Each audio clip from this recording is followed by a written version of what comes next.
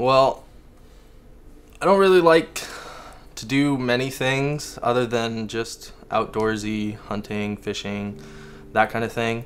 I don't like sitting behind desks and just doing paperwork. I can't do paperwork. It's not my thing.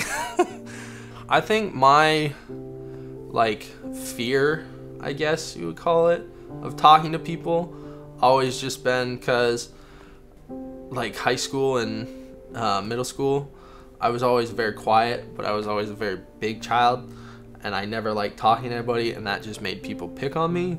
And then it was like easier to stay away from people than to talk to people, and that's I think where the whole not really talking to people thing came from.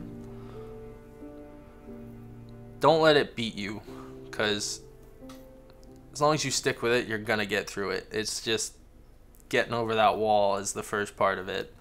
It's a very big wall, but it can be climbed.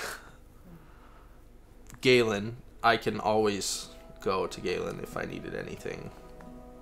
Like he even called me after he found out I got laid off that it's like, "Oh, I'm so sorry. I'm so sorry." He was like so apologetic. It's like, "You don't have to worry about it. There's nothing. That was not your fault." But just really good friendships came out of that. Spectrum and Detail Works helped me progress in the right path for my future.